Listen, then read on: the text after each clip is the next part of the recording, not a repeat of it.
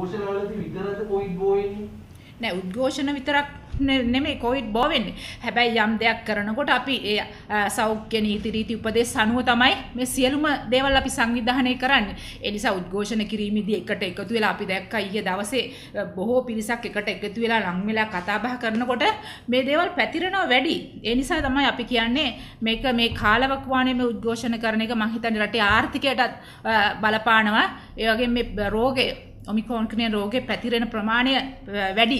ඒ නිසා තමයි අපි කියන්නේ උද්ඝෝෂණ කරන්න පාරට බහින්න එපා. ඇයි මොකද උද්ඝෝෂණ කරන්න ඕනේ? තමන්ගේ අයිතීන් දිනා ගන්න පුළුවන්නේ. උගත් බුද්ධිමත් පිරිස මේ වෘත්තීයවේදීන් කියන්නේ. සාකච්ඡා මාර්ගයෙන් මේවා විසඳ ගන්න පුළුවන්. මේක අපේ රටේ පුරුද්දක් වෙලා තියෙනවා මිනිස්සු පාරට බස්ස ගන්න ඒගොල්ලන්ගේ දේශපාලන මතවාද තමයි ඉදිරියට ගෙන යන්න කටයුතු කරන්නේ. හැබැයි දැන් ඔය ඔය ඔය කියන කොවිඩ් එක ව්‍යාප්ත වෙන්නේ නැද්ද අර අනුරාධපුරේ සල්ගාදු ක්‍රීඩාංගණයට ලක්ෂ ගණනක් ගෙනාවම ඔය කොවිඩ් බෝ වෙන්නේ නැද්ද අයියෝ ඔබ ඔබතුමියලා යෝජනා කරනකො ඔබතුමියලාගේ සියලම පොදු ජනතරුණේ නායකත්වයට අනේ මං ගේන්න එපා සල්ගාදු ක්‍රීඩාංගණයට කොහොම ජනතාවක් කොවිඩ් බෝ වෙයි ඉතින් අපි ජනතාව ගෙනාවේ නැහැ ජනතාව පෙළ ගැහිලා එනවා. අනිත් එනවා. පෙළ ගැහිලා එනවා. ඉතින් මේ මොකද? ගෝඨාභය රාජපක්ෂ ජනාධිපතිතුමා සබහැ ලෙසම ජනතාව ගැන හිතන රටේ ආර්ථිකය ගැන හිතන නායකයෙක් ඒ නිසා තමයි ජනතාව පෙළ ගැහිලා ඇවිල්ලා ඒ රැස්වීම මේ උට සහභාගී වෙන්නේ. එහෙම නැතුව අපි කොහෙවත් අරව දෙනවා මේව දෙනවා කියලා ජනතාව සහභාගී කරලා නැහැ බොහොම ස්තුතියි